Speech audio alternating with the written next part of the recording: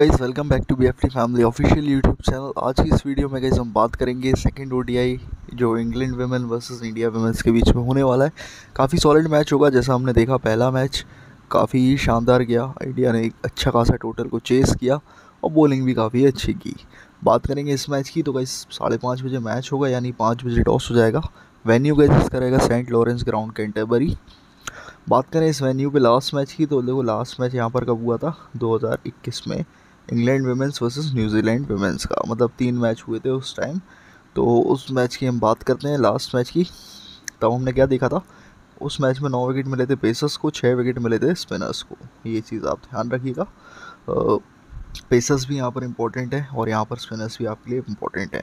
सबसे ज़्यादा इफ़ेक्टिव कौन रहेगा? देखो, ये एडवाइस हर मैच में काम में आती है मेरी। सबसे ज़्यादा right arm fast bowlers fast medium leg spinner right arm off break spinner उसके बाद लास्ट में लेफ़्ट आर्म ऑर्थोडॉक्स स्पिनर्स बात करते हैं गैस यहाँ से हेड टू हेड की, जब दोनों टीम आपस में खेलती है तो अब इंडिया एक ज़्यादा जीत चुकी है छः इंडिया है, पाँच इंग्लैंड है. वेन्यू की बात करें इंडिया ने यहाँ पर कभी नहीं खेला है. इंग्लैंड ने यहाँ पर तीन मैच खेले थे, जिसमें से दो मैच जीते हैं. बात करें गाइज़ ओडीआई स्क्वाड की तो आप सामने देख सकते हो.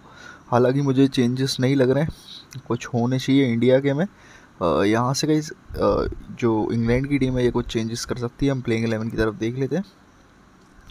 यहाँ से एम एल एम ओपन करती है टेमी ब्यूमॉन्ड के साथ। उसके बाद Sophia Dunkley Alice Capsey Danni Wyatt Amy Jones A D R Sophia Ecclestone Charlie Dean Kate Cross Issy Wong एक चेंज क्या हो सकता है इसी वोंग की जगह?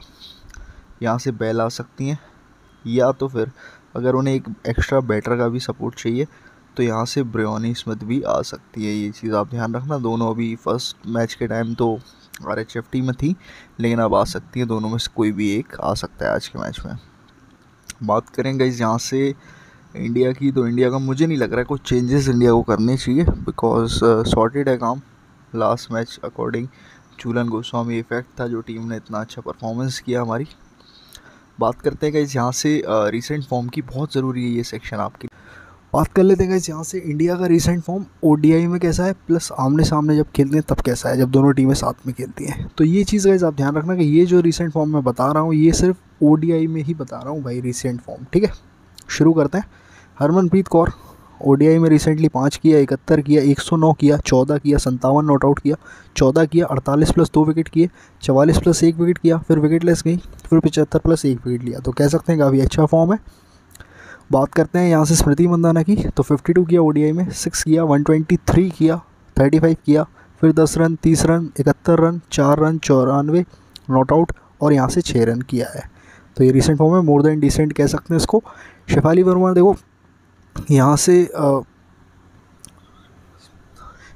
फिफ्टी वन किया, फिर ज़ीरो किया, फिर नौ किया, फिर ज़ीरो किया, फिर बारह किया यहाँ से कहीं फोर्टी टू किया था, ये बांग्लादेश के अगेंस्ट किया था फिफ्टी थ्री किया, फिर थर्टी फाइव किया था, ये श्रीलंका के अगेंस्ट किया था सेवेंटी वन नॉट आउट किया था, ये श्रीलंका के अगेंस्ट किया था फोर्टी नाइन किया था, ये श्रीलंका के अगेंस्ट किया था। अब आप सोच रहे हो कि मैंने यहाँ पर किसी का अदर कंट्री के सामने नहीं बताया, शफाली का क्यों बताया श्रीलंका के सामने, बांग्लादेश के सामने? कि इससे आपको एक आइडिया मिले कि जब अदर टीम के साथ खेलती है स्ट्रॉन्ग टीम के साथ, तब यहाँ पर स्कोर किस तरीके का होता है? ज़ीरो नौ ज़ीरो बारह। जब वीक टीम के सामने खेला है तो 42 किया 35 किया 71 किया 49 किया। तो इससे आपको भाई थोड़ा सा आइडिया देना चाह रहा हूँ। हालाँकि प्लेयर हाईली टैलेंटेड है और काफ़ी टाइम से हमारी टीम के साथ में है। यहाँ से कहीं शबी नैनी मेघना की बात करें, चार किया है फोर्टी नाइन किया, फिर सिक्सटी वन किया है। ठीक है, ये इनका रिसेंट फॉर्म है। शर्मा जी की बात करें तो भाई देखो, बहुत टैलेंटेड प्लेयर है बैटिंग बॉलिंग कहीं ना कहीं से आपको दे देती हैं। तो ये आप देख सकते हो, नौ एक विकेट इक्कीस दो विकेट चालीस एक विकेट, फिर पाँच एक विकेट, फिर पंद्रह विकेट लेस विकेट लेस और ज़ीरो रन, फिर दो नॉट आउट विकेट लेस फिर बाईस नॉट आउट, तीन विकेट, फिर दो विकेट, फिर चार प्लस एक विकेट। तो ये गाइज़ इनका रिसेंट फॉर्म है। बात करें तानिया भाटिया की तो ज़्यादा चांसेस नहीं मिले और मिलते भी हैं मतलब प्लेइंग एलेवन में होती है तो बैटिंग नहीं आती है। सात दो आठ किया है।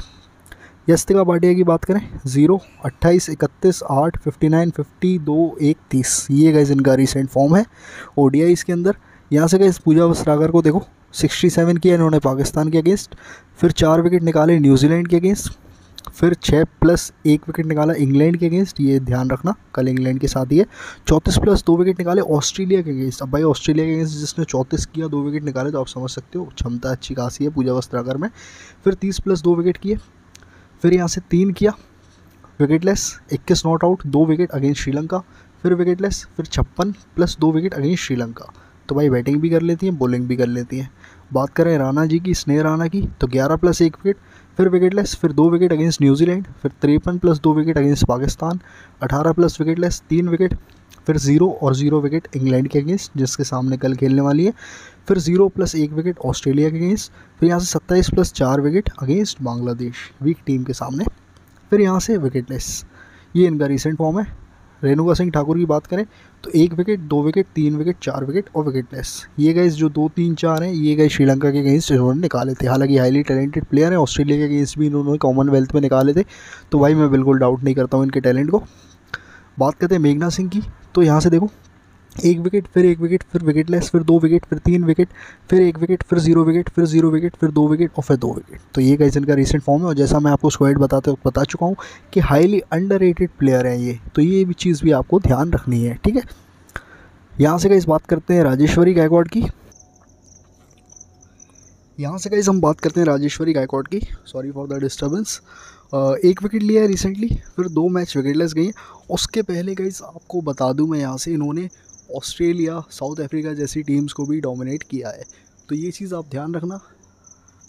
मैं हमेशा से कहता आता हूँ कि राजेश्वरी गायकवाड़ जो है स्पेशली सेकेंड इनिंग में जो क्या कहते हैं इंटरनेशनली यानी बाहर खेलती है फॉरेन कंट्रीज़ में तो अच्छा खासा कर लेती हैं। तो ये चीज़ आपको ध्यान रखनी है राजेश्वरी गायकवाड़ के बारे में। यहाँ से अगर इस बात करते हैं हलीन दुअल की तो इन्होंने दो रन किए थे इंग्लैंड के अगेंस्ट फिर चौंतीस किया।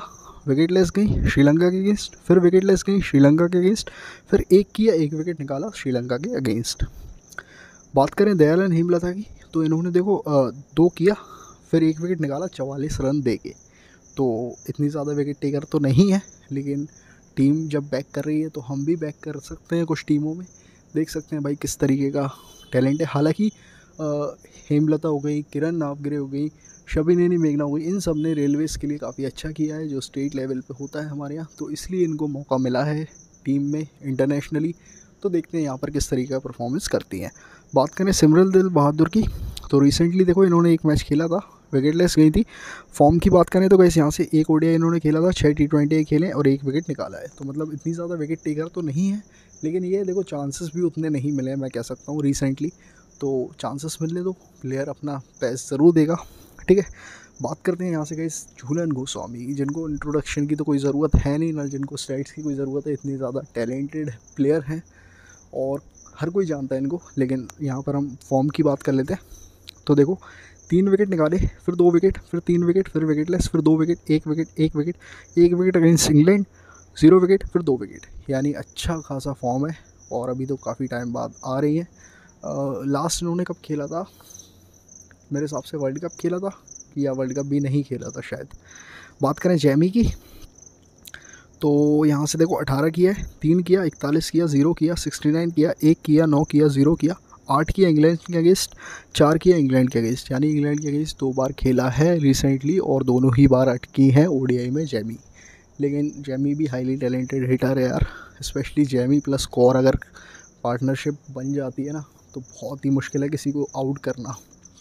ज़्यादा एंट्री फ़ी दे के कॉन्टेस्ट खेलना तो वही बात हो गई कि सिनेमा में जाके टिकट से ज़्यादा पॉपकॉर्न के पैसे भरना।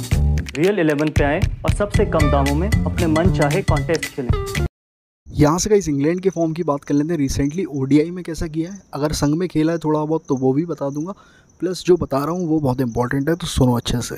बात करें टेमी बीमोंड की तो रिसेंटली देखो सिक्सटी टू किया अगेंस्ट साउथ अफ्रीका फिर यहाँ से इंडिया के अगेंस्ट एक ही रन किया।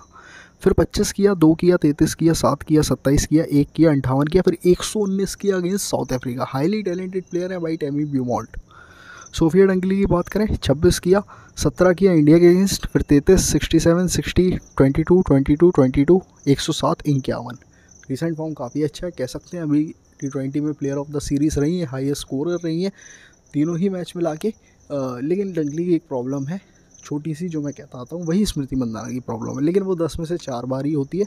बाकी टाइम ये लोग अच्छा खेल लेती हैं। अगर थोड़ा और अपना गेम इम्प्रूव कर ले तो और अच्छी बात है। स्मृति मंदाना, डंगली दोनों ही ऑफ़ स्पिनर्स के सामने अटक जाती हैं। विकेट चला जाता है उनका। तो अगर ये प्रॉब्लम ज़ाहिर सी बात है प्लेयर हर मैच में अपनी जो है कमियों को पूरा करने की कोशिश करता है। तो अच्छी बात है। इसलिए मैंने दस में से चार बार कहा है। बात करें यहाँ से लॉरेन बेल की तो रिसेंटली देखो ओडीआई खेला है, एक विकेट निकाला, फिर विकेट लेस गई अगेंस्ट साउथ अफ्रीका बात करें सोफी क्लिस्टन की, यहाँ से देखो फिर से लिखा हुआ है कैन डिसेंट बैट टू मतलब डिसेंट बैटिंग भी कर सकती हैं ये। बात करें रिसेंट फॉर्म की तो देखो तीन विकेट निकाला, फिर एक विकेट निकाला, फिर एक विकेट निकाला अगेंस्ट इंडिया फिर तीन विकेट तीन विकेट तीन विकेट छः विकेट ये छः विकेट जानते हो, इनकी लाइफ का बेस्ट हॉल था।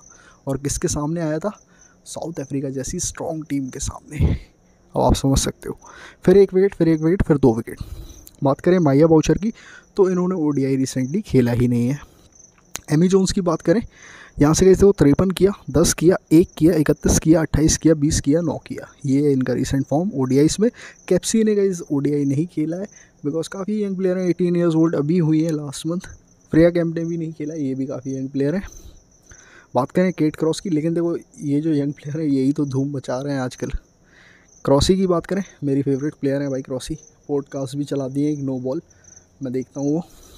यहाँ से देखो सत्ताईस प्लस विकेट लेस छः प्लस एक विकेट फिर इंडिया के अगेंस्ट एक विकेट निकाला है इन्होंने। फिर यहाँ से रिसेंट फॉर्म में तीन विकेट एक विकेट ज़ीरो विकेट एक wicket zero wicket zero wicket और यहाँ से ज़ीरो विकेट तो ये इनका रिसेंट फॉर्म है। एम एल एम की बात करें हाईली टैलेंटेड प्लेयर यार, क्या ही ब्रीड है ये तो।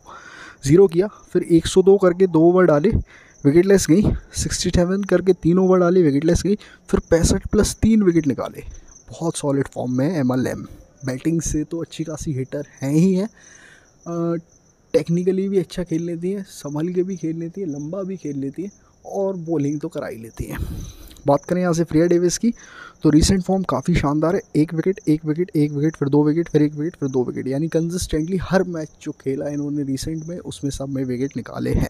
हाईली अंडर प्लेयर मेघना सिंह इंडिया की तरफ़ से, फ्रेयर डेविस इंग्लैंड की तरफ़ से। ये दो प्लेयर ऐसे हैं, जिन पे कोई नज़र नहीं मारेगा। स्मॉल लीग में आप इन पर नज़र मार सकते हो। आप एक तरफा भी जीत सकते हो। बात करें इसी वोंग की, वोंगी भी गाइस मेरी फेवरेट प्लेयर है। बहुत टैलेंटेड प्लेयर है यार ये भी। रिसेंट फॉर्म देखो, तीन विकेट एक विकेट अगेंस्ट साउथ अफ्रीका ये इनका रिसेंट फॉर्म है ओडीआई के अंदर. एडीआर का देखो नौ किया इंडिया के अगेंस्ट फिर दूसरे मैच में तीन विकेट लिए हैं रिसेंट फॉर्म में. डैनी वेट की बात करें, तीन किया, फिर इंडिया के अगेंस्ट एक ही रन किया, फिर बारह किया, छिहत्तर नॉट आउट फिर छः फिर एक सौ उनतीस, चार, चौदह नॉट आउट आठ नॉट आउट तैंतीस नॉट आउट तो ये इनका रिसेंट फॉर्म है. बात करें कैसे यहाँ से चार्ली डीन की. चार्लो डीन चार्ली डीन कुछ भी कह लो. इनका रिसेंट फॉर्म देखते हैं. पहले मैच में विकेट लेस गई, फिर एक विकेट निकाला, फिर इंडिया के अगेंस्ट चार विकेट निकाले। भाई ट्रंप कार्ड हो सकती हैं आपके लिए कल के मैच में। कैप्टन वाइस कैप्टन दे देना। बिकॉज़ अब वो प्लेयर बैटल मैं आपको कल लाइव सेशन में बताऊँगा, एक लाइव सेशन में करने वाला हूँ, उसमें बताऊँगा इन्होंने किस किस को आउट किया था। मुझे सब याद है। फिर दो विकेट निकाले, फिर तीन विकेट फिर एक विकेट फिर ज़ीरो विकेट फिर एक विकेट फिर चार विकेट फिर तीन विकेट आप समझ सकते हो किस लेवल की प्लेयर है चार्लो डीन। अब आप मेरी एक और बात सुनो। द हंड्रेड सीरीज़ अभी चल रही थी। हर टीम में लंडन स्प्रिट की कैप्टन है ये। हर टीम में मैं इनको, हर मैच में इनको लेता था। कैप्टन, वाइस कैप्टनसी भी थी। उस टाइम इनका फॉर्म में नहीं थे। अब वो सीरीज़ इनके लिए अच्छी इतनी नहीं गई थी, ठीक है? अब लोग सोचते थे, मुझे जज करते थे कि यार, हर मैच में क्यों लेते हैं ये? जबकि पब्लिक अवॉइड कर रही है। मैं कैप्टन वाइस कैप्टनसी भी देता तो भाई इसलिए तो देता था क्योंकि मैंने इनको देखा हुआ है खेलते हुए। अब आप खुद देख लो इनका रिसेंट फॉर्म कैसा है। तो इसलिए देता था। अब वो क्या हंड्रेड बॉल काफ़ी शॉर्ट फॉर्मेट हो जाता है, ठीक है? बात करने का इस आज का जो वेन्यू रहेगा, इस ये तो हो गया बिल्कुल रीसेंट फॉर्म जो मैंने आपको बताया ओ में प्लस अगेंस्ट ईच अदर लेकिन इसमें एक फॉर्म मिसिंग था जो कि लास्ट मैच का रिकॉर्ड है तो वो हम देख लेते हैं यहाँ से। लास्ट मैच क्या हुआ था? इंडिया ने बॉलिंग चूज़ करी थी इंग्लैंड ने 222 बनाए थे सात विकेट के नुकसान पर, यहाँ से एट टॉप स्कोरर उस मैच में कौन थे स्पेशल प्लेयर्स एडीआर ने 50 रन किए थे डेनी वेट ने 43 किया था दीप्ति शर्मा ने दो विकेट लिए थे, पहली पारी में जूलन गोस्वामी ने एक विकेट लिया था। यहाँ से गई जो इंग्लैंड की टीम है, उसको सोफी एग्लिस्टन, चार्ली डीन, इन्होंने भी सपोर्ट किया था बैटिंग से थोड़ा थोड़ा कंट्रीब्यूशन दिया था। सोफिया डंकली ने भी 20-25 रन का कंट्रीब्यूशन दिया था। उसके बाद हम बात करें इंडिया ने, यहाँ से आप देख सकते हो, सिर्फ़ तीन विकेट के नुकसान पर जीत हासिल करी बिकॉज़ मंदना यहाँ पर 91 करके गई, हरमनप्रीत कौर 74 गेट क्रॉस को गई सेकेंड इनिंग में दो विकेट मिले थे, चार्लो टीन को यहाँ पर एक विकेट मिला था। तो ये था गई लास्ट मैच का performance head to head specials बात कर लेते हैं गई इस वेन्यू के ऊपर प्लेयर्स किस तरीके का खेलते हैं। सॉरी यहाँ से आप देख सकते हो आज का जो वेन्यू है, उस पर देखो, सबसे पहले बताऊँ तो जैसा मैंने ऊपर बताया कि तीन में से इंग्लैंड ने दो मैच यहाँ पर जीते हैं। तो जो एक मैच हारे थे, वो कैसा हारे थे, आप देखो। यहाँ पर पूरे कोलेप्स हो गए थे, पचहत्तर रन पे। किसके सामने? ऑस्ट्रेलिया के सामने तब तो बहुत बड़े बड़े प्लेयर्स थे इंग्लैंड में, लेकिन पचहत्तर रन पे कोलेप्स अब वो ऑस्ट्रेलिया थी। देखो, ऑस्ट्रेलिया का काम ही है किसी भी टीम का ऑर्डर को डिस्टर्ब करने का काम ही है ऑस्ट्रेलिया का। फिर उसके बाद यहाँ पर जो विनिंग हासिल की, वो देखो इंग्लैंड ने 200 रन से हासिल की, फिर दूसरी विनिंग सात विकेट से हासिल की। तो बहुत बड़ी बात है कम अच्छा खासा किया है। बात करें टेमी ब्यूमॉन्ड की तो जैसा मैंने लास्ट मैच में बोला था, चलो अभी आगे दिखा दूँगा प्लेयर बैटल थोड़ा सा टेमी ब्यूमॉन्ड ने इस वेन्यू पे, आप देखो 102 किया, फिर चार रन किया, फिर 105 किया चेजिंग के टाइम सोफिया डंकली ने पहली बारी में तैंतीस नॉट आउट किया यहाँ पर। एमी जोन्स ने सिक्सटी किया है केट क्रॉस ने तीन विकेट लिए दूसरी पारी में, फिर एक विकेट लिया दूसरे मैच में। अब यहाँ से गए जो अदर इंग्लैंड के बॉलर्स हैं, जो कि स्क्वाड में नहीं है, एक फॉर आइडिया आपको यहाँ से बता देता हूँ। इंग्लैंड की राइट आर्म ऑब्रिक स्पिनर ने तीन विकेट निकाले हैं दूसरी पारी में, इस वेन्यू के ऊपर। इंग्लैंड की राइट आर्म ऑब्रिक स्पिनर ने पहले पारी में चार विकेट निकाले इंग्लैंड के पेसर्स ने यहाँ पर पहली पारी में सात विकेट निकाले हैं। डैनी वेट ने यहाँ पर फोर्टी थ्री नॉट आउट किया, फिर एक रन किया दूसरी पारी में। यहाँ से सोफी एक्लिस्टन ने देखो पहली पारी में एक विकेट निकाला, फिर पहली पारी में एक विकेट निकाला, फिर दूसरी पारी में दो विकेट निकाले हैं। चार्ली डीन ने गई यहाँ पर एक विकेट किया है दूसरी पारी में। बात करते हैं गैस ये है कुछ प्लेस का वेन्यू फॉर्म इस पर आप ध्यान दीजिएगा। बाकी मैंने जो आपको हेड टू हेड स्पेशल्स और रिसेंट फॉर्म समझाया है इस पर तो आप बिल्कुल ही बिल्कुल ध्यान दीजिएगा। ठीक है, इसको बिल्कुल मिस मत करिएगा। यहाँ से गाइज़ आपको बता दूँ, एक एक सेक्शन में आपको बताना भूल गया हूँ। हाँ तो गाइज़ ये था वो सेक्शन जो प्लेयर्स मुझे लग रहा है एक्सपेक्टेड टू ब्लास्ट आज के मैच में यहाँ से शेफाली वर्मा, हालाँकि मुझे नहीं लग रहा है शेफाली का इतना होप है बिकॉज़ मैंने आपको देखो यहाँ पर भी बताया हुआ है क्लियरली बताया हुआ लास्ट मैच में भी यही बोला था। लोग लेके आए थे शेफाली वर्मा को स्मॉल लीग्स में। एक बहुत बड़ा चैनल पाँच सात लाख सब्सक्राइबर वाला तो कैप्टन दे के आया था शेफाली वर्मा को। लेकिन मैंने यहाँ पर आपको पहले ही बता दिया था कि देखो शेफाली वर्मा ने यहाँ पर forty two thirty five seventy one not out और फोर्टी नाइन ये सब भाई श्रीलंका श्रीलंका श्रीलंका, बांग्लादेश वीक टीम्स के सामने किया है। बड़ी टीम्स के सामने देखो फिफ्टी वन चलो मान लिया। उसके बाद ज़ीरो नाइन ज़ीरो बारह, फिर यहाँ से तिरपन, एक बार। तो मतलब एक कह सकते हैं जल्दी फंस जाती हैं ये प्लेयर तो इसलिए मैंने यहाँ से शिफाली वर्मा को ड्रॉप किया था और आपको भी बताया था। बाकी इसलिए मैंने आज यहाँ पर लिखा हुआ expected to plus Shafali Verma. Tammy Beaumont जिनका द हंड्रेड्स में फॉर्म इतना अच्छा नहीं रहा, पर ये वेन्यू पे बहुत अच्छी पकड़ रही है। और जो लॉर्ड्स पे अभी मैच होगा ना थर्ड ओडीआई वो टेमी ब्यूमॉन्ट का हंड्रेड ओडीआई मैच होगा। बहुत बड़ी बात है। यहाँ से ब्रोनी स्मिथ खेलती है तो वो कर सकती हैं। Jhulan Goswami because last match काफ़ी इकोनॉमिकल गई, दस ओवर देके सोलह रन सोलह रन देके दस ओवर डाले। इसी बॉन्ग खेलती है तो और यहाँ से माइया बाउचर खेलती हैं तो बिकॉज़ बाउचर एक ऐसी प्लेयर है, जो कि बैटिंग बॉलिंग दोनों कर लेती हैं। अब ज़रूरी नहीं है कि आप सिर्फ़ इन्हीं प्लेयर्स पे ध्यान दो, मैंने स्पेशली बता दिया तो ये तो कुछ फिक्स थे जो मुझे लगा आपको बताने चाहिए। बाकी गाइज़ यहाँ से जो मैंने आपको बताया ये जो वैल्यू परफॉर्मेंस है, ठीक है, जो मेरी एडवाइस है, जो प्लेयर्स का रिसेंट फॉर्म बताते वक्त आपको एडवाइस बताइए उस पर ध्यान दीजिएगा। और यहाँ से जो है लास्ट मैच के स्कोर कार्ड की तरफ़ भी एक बार नज़र मार लीजिएगा। अच्छा खासा आप कर सकते हैं इस मैच में। बाकी जो भी आपके क्वेश्चन हो इस मैच से रिलेटेड पर्टिकुलर आप इस वीडियो के नीचे कमेंट ज़रूर करिएगा तो आपको उसका आंसर मैं यहाँ से दे दूँगा। Thank you for watching the video Telegram channel कैसे ज्वाइन करना है? हेलो गाइस बहुत से लोग पूछते हैं टेलीग्राम चैनल कैसे ज्वाइन करना है। तो यहाँ पर देखो, आपने अपना टेलीग्राम का एप्लीकेशन खोला। आपने ऊपर एट द रेट सर्च किया B F T P R E V I E W S B F T previews जब गाइज़ आप ये सर्च करोगे तो आपको ऊपर एक चैनल मिल जाएगा। नाइन्टी एट सब्सक्राइबर्स है।